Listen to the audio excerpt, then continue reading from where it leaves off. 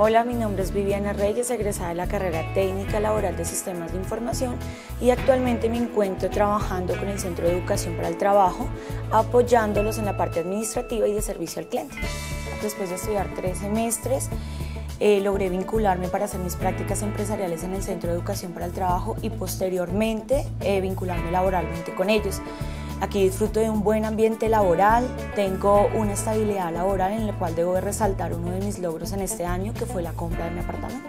Lo más importante de mi paso por el SED ha sido el poder aplicar mis conocimientos y mi experiencia para el beneficio de los clientes y por supuesto del Centro de Educación para el Trabajo. El consejo que les doy es que se vinculen con las capacitaciones del Centro de Educación para el Trabajo por la alta calidad de nuestros docentes y del proceso educativo.